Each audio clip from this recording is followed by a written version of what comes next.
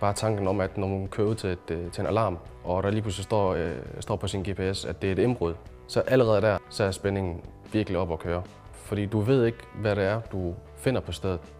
Det, som jeg synes er det mest spændende på vagtuddannelsen, er de praktiske opgaver. Og når du er færdig uddannet, så kan du komme ud for at arbejde som øh, enten servicevagt, stationærvagt eller runderende vagt. Hvor servicevagt inkluderer, at du går ind i Bruns galleri, eksempelvis øh, foretager tilsyn i butikker.